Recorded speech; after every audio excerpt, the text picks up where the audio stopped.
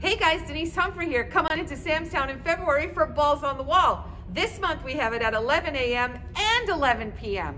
Bingo on any of the 15 balls on the wall, you get double pay. Bingo on B14, and you will get five electronic free small rainbow vouchers. Come on into Sam's Town 11 a.m. and 11 p.m. for Balls on the Wall because when you're here, you're home.